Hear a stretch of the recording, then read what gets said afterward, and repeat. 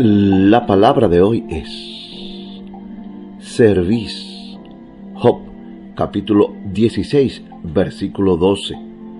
La parte del ser humano o del animal que conecta la cabeza con el resto del cuerpo, los términos hebreos para cerviz o cuello, ponen de relieve su estructura ósea rompible. Según varios textos que lo mencionan, Éxodo 13:13, 1 Samuel 4:18, Josué 10:24. También en la Biblia los términos cerviz y cuello suelen usarse en sentido figurado. Cuando alguien ha derrotado, en hebreo se decía literalmente que volvía su cuello al enemigo.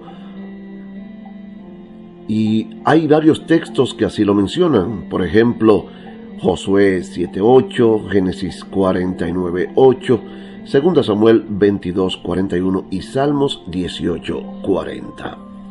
Con un significado similar, en inscripciones egipcias y asirias se representaba a los monarcas pisando los cuellos de sus enemigos en la batalla. Josué también ordenó a los comandantes de su ejército, tal como lo menciona en Josué capítulo 10, verso 24. Un yugo sobre el cuello indicaba servidumbre o sumisión o esclavitud, según Génesis 27:40 y Hebreos 15:10. Las expresiones dura cerviz y endurecer la cerviz que aparecen con frecuencia indican un espíritu rebelde y obstinado.